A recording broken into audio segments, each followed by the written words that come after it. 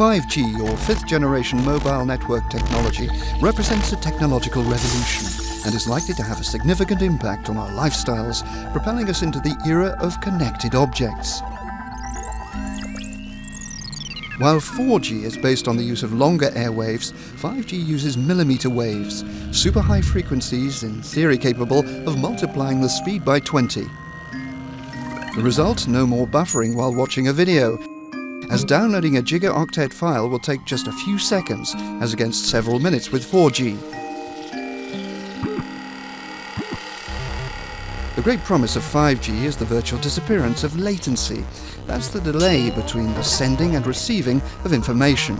This will make possible the development of e-health, smart cities, in many fields, refuse collection for example, the increased use of autonomous and connected vehicles, and the digitization of factories.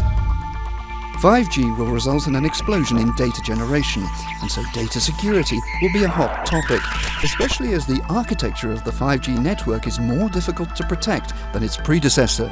Millimeter waves are short, they have limited range and penetration.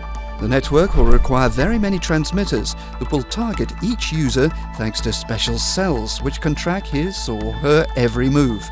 To experience 5G, routers or a 5G compatible smartphone will be required.